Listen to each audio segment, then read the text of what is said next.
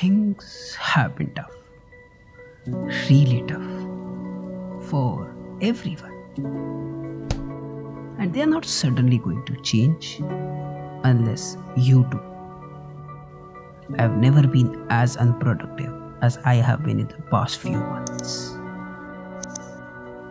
But you know what's the most powerful thing about time?